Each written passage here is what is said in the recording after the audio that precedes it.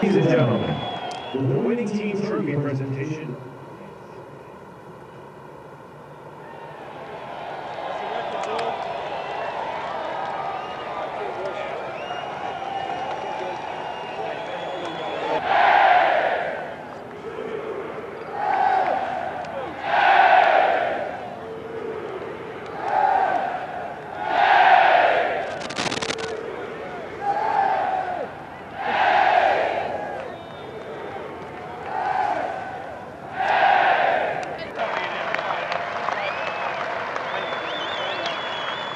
tackling anybody other than me